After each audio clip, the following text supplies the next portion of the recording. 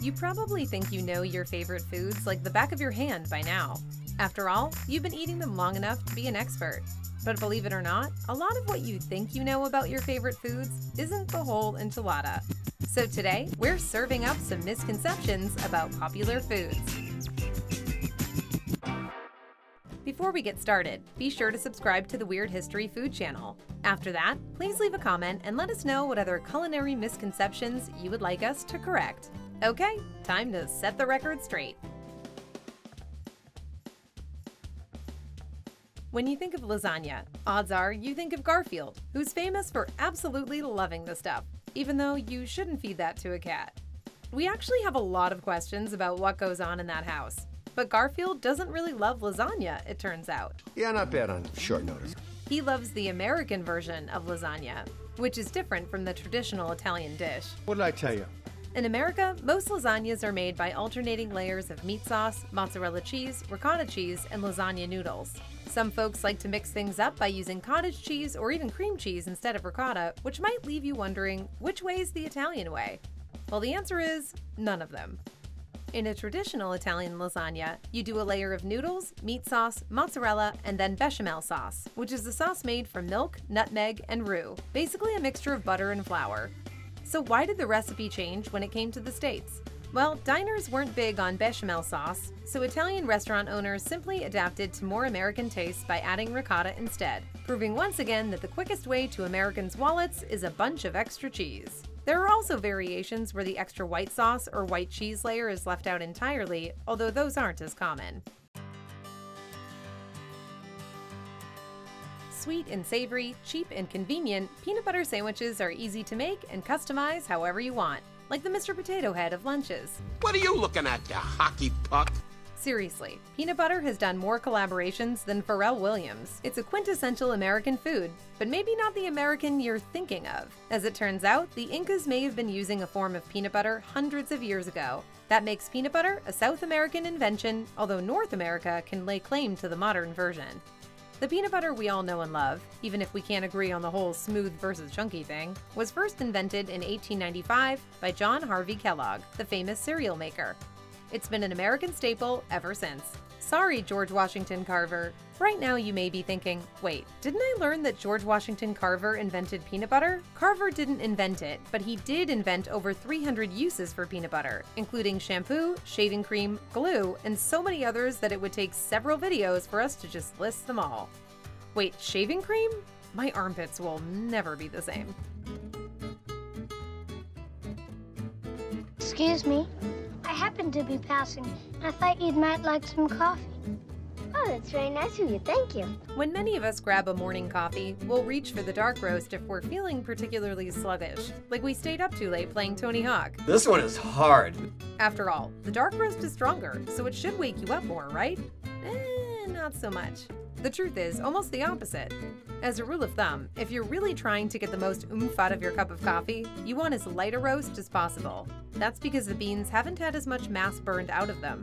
Although in fairness, there really isn't that much of a difference. So what does that mean for those super strong coffees that claim to be the darkest, most intense roast and are covered with all sorts of health disclaimers? Well, to put it simply, they're full of beans. The truth is, those companies are overcharging you for a blend that contains an unknown percentage of low quality coffee, like the punch bowl at a Folgers office party. Many cultures around the world regularly drink tea, but none have made as big a deal out of it as the British. For hundreds of years now, they've had a tradition of taking a break in the mid afternoon for tea and biscuits, which are what the Brits call cookies, probably just to keep everyone on their toes. They literally just taste like nothing. I love them. I love them. This is like literally the essence of bland. For most outsiders, taking tea looks like one of the most fun parts of British culture. After all, who wouldn't enjoy stopping in the middle of the day to drink some Earl Grey and eat cookies? But why tea and cookies? Mm. Undigested, can I say? Traditional British biscuit is made about a hundred times better when dipped in a cup of tea. Some have concluded that the tradition came about as a way for people to flaunt their wealth during the days of the old British Empire. While that may or may not be true, there's actually a scientific reason for the biscuits. Long story short, black tea contains tannins, which you can also find in red wine. So if you've ever had a sip of wine and it really dries out your mouth, that's because of tannins. And can make you feel sick if you drink them on an empty stomach. So it's a good idea to always eat a little something with black tea, and that something might as well be cookies. The sweetness of the biscuits also helps mask the bitterness of the tannins in the tea. When most Americans think of tacos, they likely think of the hard shell variety you can find in grocery stores and restaurants across the country. It's one of Taco Bell's signature menu items, and the hard taco is so ubiquitous in the United States that in most places, you have to specifically request a soft taco, like you're ordering a Dr. Pepper with no ice. But at the end of the day, tacos are a Mexican dish, and nobody really eats hard shell tacos in Mexico. So where did this crunchy little guy come from? Well, it's hard to pin down exactly where it was invented, but the hard shell taco started becoming popular in the United States in the early 1900s, and has been popular ever since. However, if you're trying to find an American-style hard taco in Mexico, you will likely be disappointed. Not only are Mexicans extremely unlikely to put a taco in a hard shell, even to please tourists, but also most tortillas are made out of corn, as opposed to the flour tortillas typically used in the US. Potatoes, or potatos if you're a Gershwin fan, are pretty popular around the world, like the Tom Cruise of root vegetables. And they're especially popular in America, where people use them as a side dish for just about everything. From french fries with the skins removed to mashed potatoes with the skins removed, Americans really love their potatoes, with the skins removed. Many American recipes specifically instruct you to peel the potatoes and discard the skins, like they're some sort of shameful secret. Aside from making the US a terrifying place for the potato head family to live, the American practice of peeling spuds before cooking them is actually pretty unhealthy. Roughly 50% of the vitamins and fiber you get from eating a potato are in its skin. So when you peel a potato, you're essentially taking half of the good stuff and throwing it right in the trash. Although you may have some vitamin-enriched neighborhood raccoons that would thank you. Pasta carbonara, sometimes called chicken carbonara when it's trying to hide from its attorney, is an American dish you can find in Italian restaurants all over the United States. Recipes vary, but it's typically served with peas in it, along with a whole lot of everything else. Anyone ordering pasta carbonara in the States can expect to be served a goliath of pasta, meat, and veggies, including eggs, Parmesan cheese, cream, bacon, and chicken. Ironically, classic Italian pasta carbonara is a traditional pasta dish that was designed to be a simple way to make something quick and hearty out of whatever may be lurking in a fairly empty pantry. It's actually an easy recipe that usually consists of eggs, pasta, guanciale, black pepper, and pecorino romano cheese, not parmesan. Because guanciale is pork jowl, some chefs say bacon is an okay substitute if you can't find the real stuff, but chicken isn't ever supposed to be part of the recipe. It's also a big no-no to add cream, and mixing green peas into a pasta carbonara is considered a felony in Italy. As for where the name does come from, well, no one really knows. It's derived from the Italian word carbonaro, which means charcoal burner. That's led some to guess the dish was conceived as a meal for Italian coal workers. Other guesses include the possibility the name was derived from a Roman restaurant called La Carbonara, which may have invented or otherwise popularized the dish. Wonder where they stood on green peas. I am about to eat a la carbonara. See my fortune now.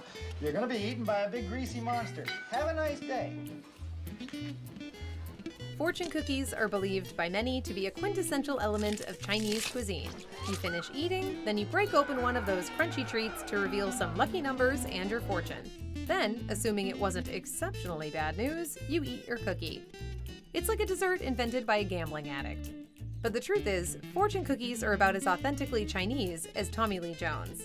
According to most accounts, the fortune cookie was actually invented by a Japanese American man from San Francisco in the early 1900s.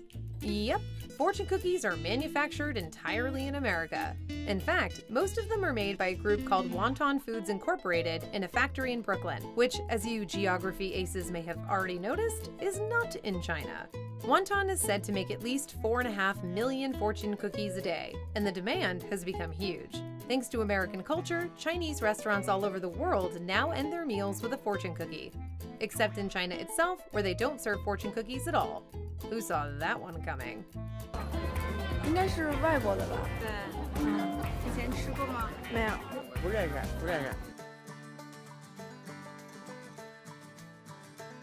Many of us probably think of pudding as a sweet treat, something to be enjoyed at the end of the meal or traded at the lunch table for an even more sugary dessert. But when it comes to British cuisine, it seems like anything can be a pudding, and often is. There are savory dishes like steak and kidney pudding, but there are also many dessert dishes called pudding. And to make things more confusing, dessert is referred to as pudding even if pudding isn't actually being served. How does every British meal not end in a fistfight? Believe it or not, calling everything a pudding actually has some important food history behind it. Back in the early days of England, people used to boil meat in an animal's stomach, presumably because there weren't any crate and barrels around, so they couldn't buy any pots. They called this boiled meat pudding, and over time, they started adding grains to go with the meat they boiled. This then evolved to boiling meat in cloth bags rather than animal stomachs and making recipes with more grains until they finally started making sweet puddings too. The humble snack pack took a long, meaty road to get to your lunchbox. So, what do you think? Which of these misconceptions surprised you the most? Let us know in the comments below, and while you're at it, check out some of these other weird history food videos.